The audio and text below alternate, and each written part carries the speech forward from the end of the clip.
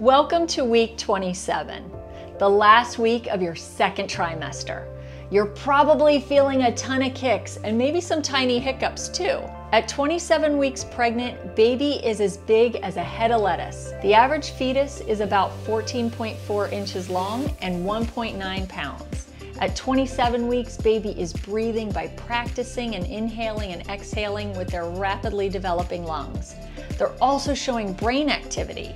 From here on out, baby's brain will be getting more and more complex, turning that 27 week fetus into a real smarty pants. At week 27, you might be experiencing leg cramps, backaches, constipation, hemorrhoids, skin, hair, and nail changes, and maybe even bladder leakage. Women who are 27 weeks pregnant with twins are vulnerable to preterm labor.